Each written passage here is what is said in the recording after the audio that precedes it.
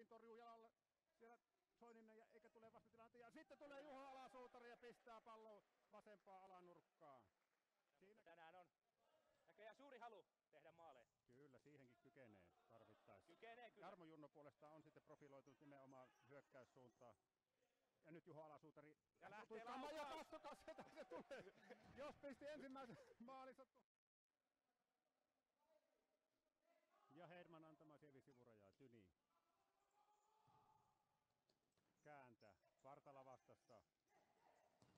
Sieltä ampuu.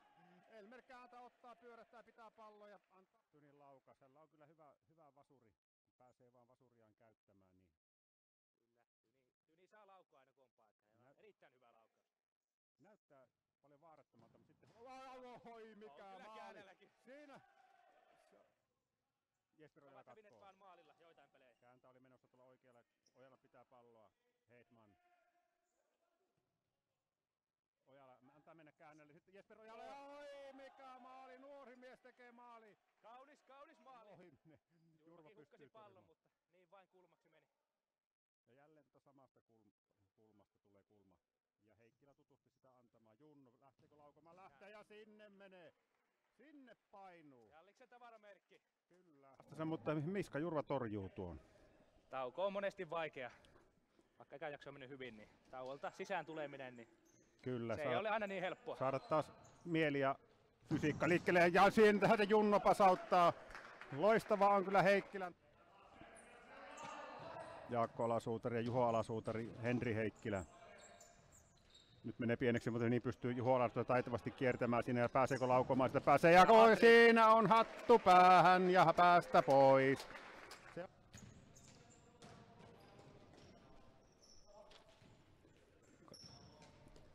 Katsotaan Katsotaan sitten Kasper Ojala kentälle pääsee sitä läpi. Oi, Kasper Ojala pistää pallon pörsää. Onko se muuten Kapellekin ensimmäinen maali tälle? Pääsee nautiskelemaan tuosta, mutta menee vähän Jurvan, Jurvan näppeihin tuo ohjaus.